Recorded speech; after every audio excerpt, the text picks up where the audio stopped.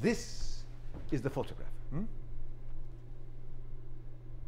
So? Yes, So what do you think? it's extraordinary. Ah, this is in Sighet, where I'm from. The year is 1946. You see? Yes, You see them? Dozens of men walking down the street, all dressed in black. In the casket is soap. Who could imagine such a thing? no one. Huh?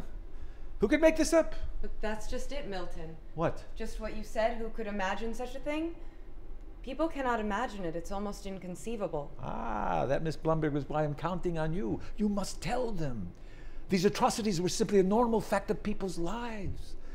Such things as barriers of human soap were not inconceivable. I understand. Who thinks of proof at such a time? I understand that. Who could know that some hard proof would be needed to corroborate what I lived through and witnessed? Why should I think someday somebody might not believe you? Why should I think that?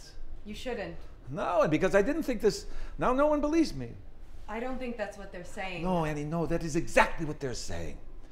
This was 100% fact, this that I survived. This was fact kept alive in my memory, branded on my skin, branded in my heart for always. And this is not enough. That's not. Okay, okay, I understand that this is not enough.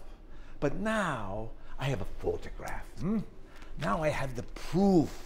This is a true photograph.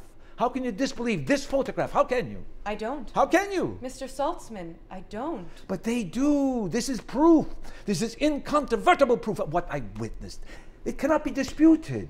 We already knew that the Nazi soap machinery existed. It was not a rumor. That this funeral procession in my hometown was not merely the result of misinformation or even macabre poetic metaphor, but that the depravity of the Nazis knew no bounds. I know there are Holocaust deniers in the world. I find it incomprehensible, but I know they are there. But what I did not expect was that my own people would deny my own people. Yes. As if I were making it up myself. Why would I make such a thing up? Why would anyone do such a thing? They wouldn't. No, they wouldn't. No one would ever make up such a thing. No one has the imagination. So how can they say, huh? We're not buying it. Ah, why do they treat me like a little child? Hmm? They accuse me? No, it is them. They are the ones. Let me ask you something. hmm? Yes?